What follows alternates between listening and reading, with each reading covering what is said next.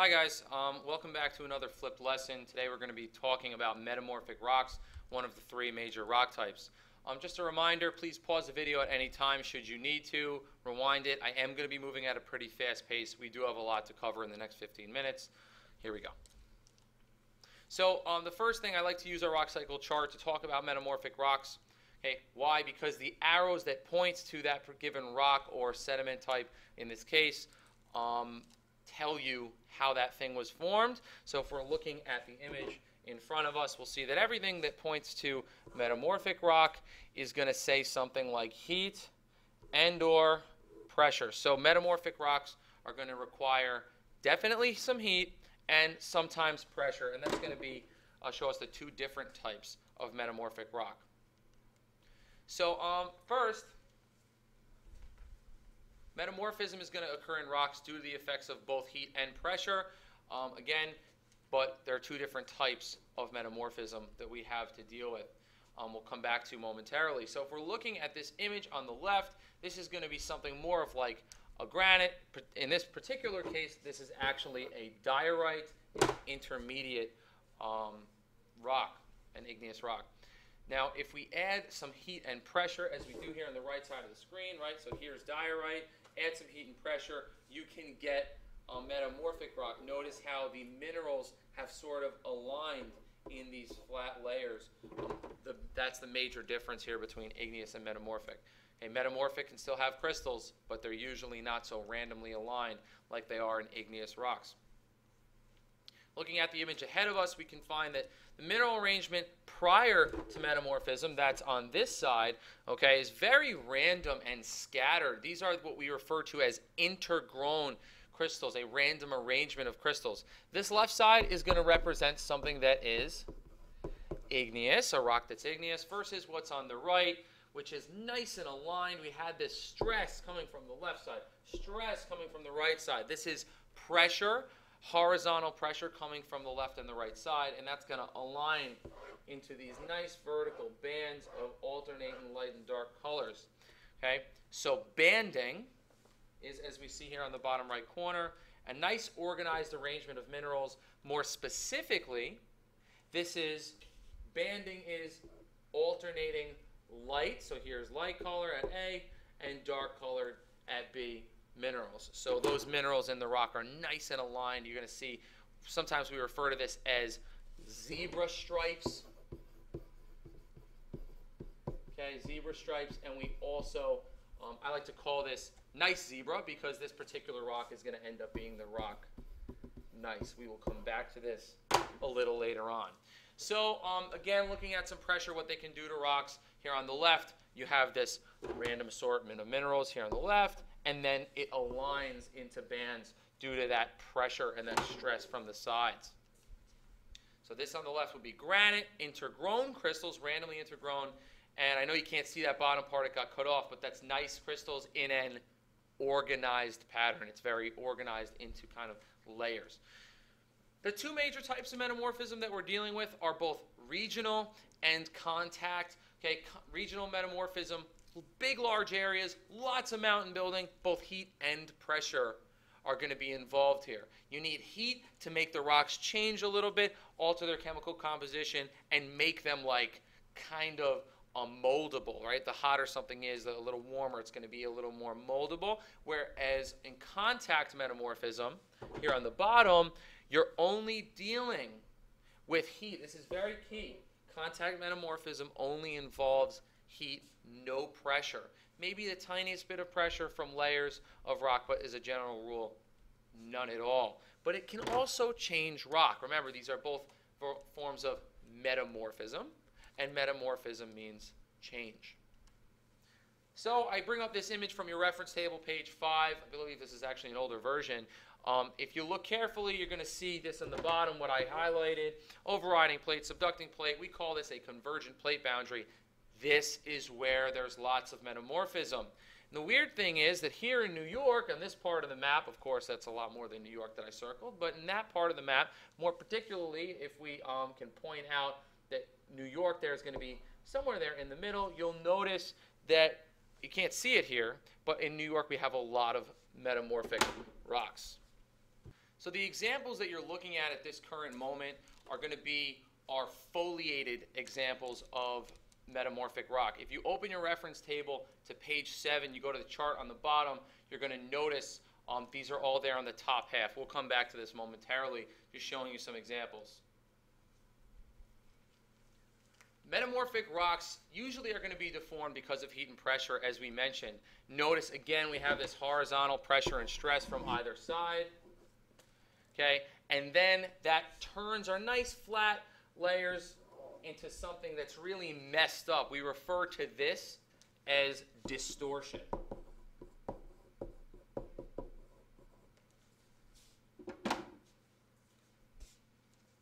Okay, usually we call that gneiss. This is generally this particular rock that you're going to see these really screwed up layers in. That's gneiss. Again, we refer to that as gneiss zebra because it often have um, alternating light and dark stripes, so zebra stripes. So here's another example of distortion, and you guessed it, that's gneiss that we're looking at right now. More examples, a bit of a pixelated version, but still the same concept. The minerals have been forced into alignment, um, and you could imagine that these layers were nice and flat at one point, and they just no longer are due to that extreme heat and pressure from metamorphic rock formation. Another example of distortion, notice the flat layers on the top, they haven't been disturbed. This is probably a sedimentary rock. And if you add some heat and pressure, you might get this gneiss here on the bottom. So I think you're getting the point. This is banding on the bottom, and it is a rock we call gneiss. You see banding? It's gneiss. We'll come back to that momentarily. First, a metamorphic rock exposed to too much heat can melt and if a think about it, if a rock is to melt 100% all the way into a liquid, not like with a little bit of heat and be changed, but totally melted into a liquid, go from solid to liquid phase, it's going to become a molten rock, meaning magma or lava. And then, when we're talking about magma, what happens when magma cools? Well, magma is going to become and I'm sorry, I didn't write it up here, but an igneous rock. So if magma cools, now we're talking about an igneous rock versus metamorphic. So please keep in mind for metamorphic rocks, okay, good take home point, the heat does not melt the rock all the way. It melts it enough to change it, but if it were to melt all the way, then we'd be getting a whole new igneous rock. So let's not go that far. Contact metamorphism, on the other hand, more specifically, if there's hot magma, that just means that right around the hot magma on the sides of it, you see that little layer that's drawn in the image, okay? That's going to be where metamorphic rock forms. So you might have something like sedimentary rock here. You might eventually, if that magma cools, get igneous rock there in the middle. And then on the sides, on the border, that's where you get your changed metamorphic rock. Again, this is contact metamorphism, not regional. Another example of contact, you see that kind of band of redness around this uh, magma chamber here on the left. This whole area here is a place where metamorphic rock is being formed. The sedimentary rocks that you see, those nice flat layers, okay, that's been intruded with some magma, and that magma heats up the rocks around it and changes them. So you will find metamorphic rocks surrounding that, just like the previous image.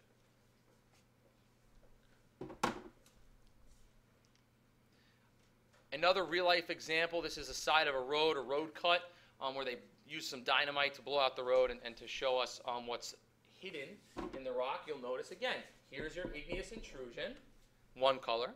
Then you have your metamorphic rock there. Notice the color is, we're going from black here to brown here, and then this kind of light tan, which actually ends up being sedimentary. So you have all three of your rock types shown in this image. Very important question. Regents questions always throw these at you. You'll see something like this. You got some layers of rock. They're telling you what the layers are. Okay, and they're showing contact metamorphism here with these lashes. Okay, with some uh, dash marks, whatever you want to call them.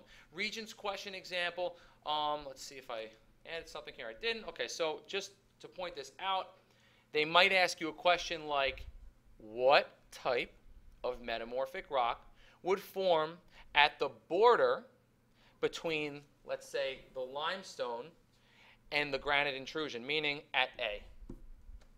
They might also ask you the same question at B. Now, what kind of rock would form that? We need to get specific. We need to go to the reference table. So I'm going to skip through a couple, little bit of this. Here it is. Here's our reference table. So if we have a limestone as a parent rock, limestone, when it gets either regionally or contact metamorphosed, it's going to become marble. So our answer to that question would be marble. What if they asked us the same thing, but this time they asked us about sandstone? Simple, we'd find our sandstone, and we'd find that sandstone becomes quartzite with a little bit of heat and or pressure. Notice all these rocks down here could be regional or contact. Just for the record, you ever get a question like this, just write Hornfels. Okay, contact metamorphism, Hornfels, various rocks. It really can be any rock can become Hornfels given the opportunity to be metamorphosed. That's that. Let's look at some examples. Here's slate, okay, and then back to our image which we just drew all over. Um, slate is just a rock type that's formed from shale. This is low-grade metamorphism, okay, formed by regional metamorphism with heat and pressure, and it only contains mica. Why only mica? Because if we take a look at this line, we notice that above this line we only have this, this part, which is mica, so it only contains mica. More foliated metamorphic rocks. Phyllite, look at the image, this is phyllite, here's phyllite again. Phyllite is foliation surfaces, shiny from microscopic microcrystals. There they are. Here's our mi microscopic microcrystals. These are actually might be little garnets in there. Okay, this is more medium grade regional, so in other words, it's in the middle, in between those two lines. And if we follow phyllite along, we'll notice that it contains mica, yes, quartz, yes, feldspar, yes, amphibole, garnet, but not pyroxene because it does not cross over that. And just to expand, fine to medium grain size, not huge crystals, not too small. And we call this mineral alignment because no, it doesn't quite have banding yet. As we continue to move forward, here's a schist. Look at those big platy mica crystals, and there they are, platy mica crystals. Schist is going to contain all this stuff, maybe a little bit of pyroxene, not a lot, and everything else is the same on the left for phyllite. Please keep in mind all these on the top are foliated, meaning they contain some form of layers. Moving forward, you've seen this five times already this, during this presentation. This is gneiss. Okay, gneiss is here, called gneiss zebra. High grade metamorphism, right? If you follow this down, that's the highest grade. It's at the bottom. This is high. This would be low. Okay, it's going to contain all of these minerals, very large crystals, and we call this banding. That's banding. All right. Limestone will become marble given the opportunity to metamorphose. Here's more examples of marble. This is now on the bottom half of the chart. We call these non-foliated because they show no layers. I mean, look at that. No layers. If we go back to gneiss, there's layers. So marble comes from limestone or dolostone. We refer to that as the parent rock because it's what it comes from. Can be formed regional or contact. It's made of calcite or dolomite, just what it's made of, right? This is under composition. Okay, we have fine to coarse here on the left, and all these things here are non-foliated on the bottom, all these different rocks. We continue to move forward. Sandstone will become quartzite, given the opportunity to metamorphose. In other words, if you add a little bit of heat or pressure, there's another quartzite.